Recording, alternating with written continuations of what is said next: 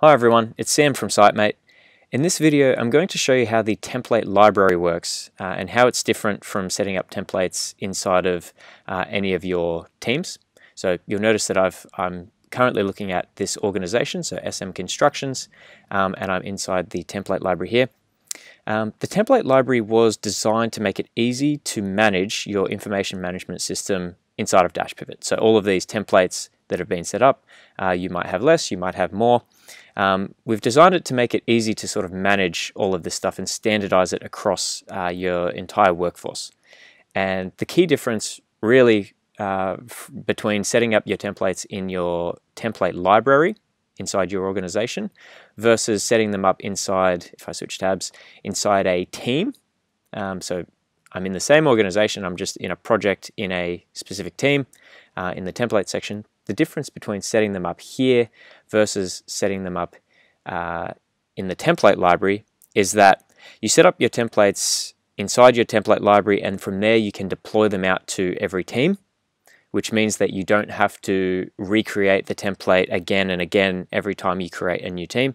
It's simply managed in a single place. You can click deploy um, and you can decide which teams you'd like uh, to uh, have that template set up in. So if I was to deploy it from uh, from this library here, I could I could choose to deploy it to this team, which means that my uh, environment team here would be able to go ahead and fill them out.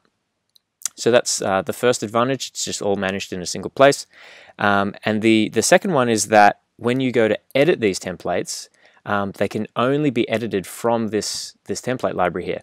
So if I was to deploy um, any of these, let's say this checklist, this environmental risk assessment checklist to a team, uh, such as what you see here, um, whoever has access to this team won't be able to edit the templates which are deployed to this team. It's all managed uh, from this template library um, by the organization controllers who you have within your organization. Uh, so those are really the two reasons why you would do it, um, and both are related to just standardizing and managing uh, your IMS or your information management system uh, easier. So let me show you uh, what all that means. So we've got here a, a template library. Um, the first sort of uh, step is always to set up your templates. Um, the second step is to deploy those out to your teams. So there's two ways that this can be done. Uh, we have a push method and a pull method. So the way that we would push these out to the teams is by clicking this button here, uh, deploy. And you'll see that all of the uh, teams uh, show up here. So I can choose, you know, across my entire organization, which particular uh, teams I want to deploy it to, or in total, I could deploy it to an entire project if I'd like. Um, in this example, I'm going to deploy this uh, environmental risk assessment to the environment team in this Camden Road upgrade uh, project. So I'm just going to hit save um, and that will have deployed that to that team.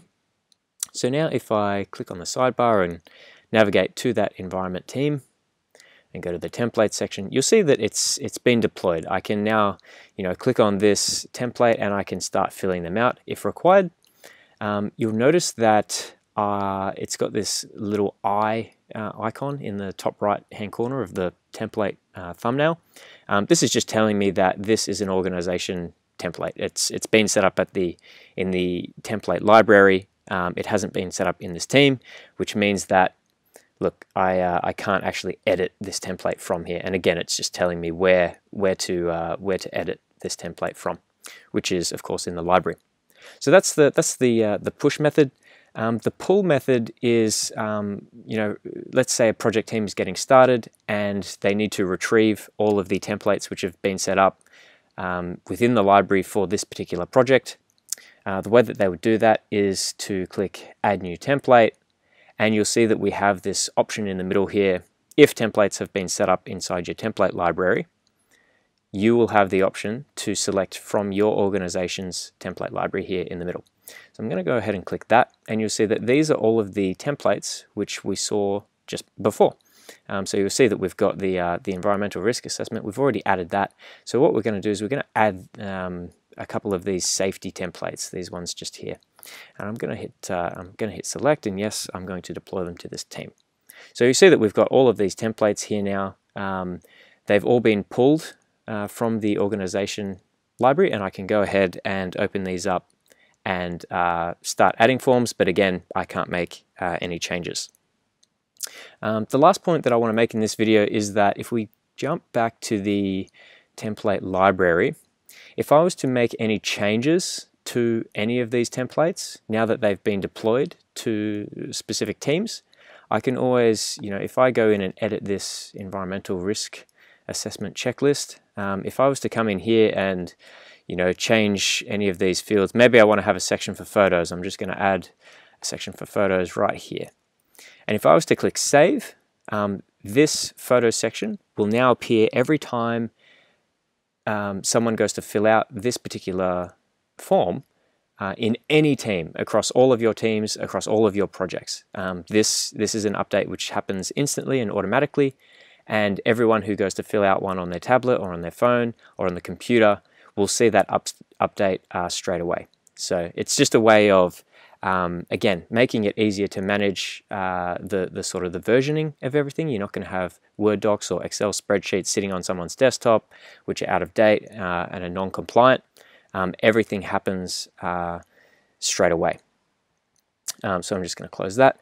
That pretty much wraps up this video. Uh, so if you have any questions, the best place to start is always our Help Center. Um, you can open that up here and, and search through all of the articles which we've written. Um, if you can't find what you're looking for, um, the, the next best place is to send us a message using our live chat down here. So you can just open that up um, and, and send us a message and we'll do our best to get back to you as soon as possible. Uh, thanks for watching.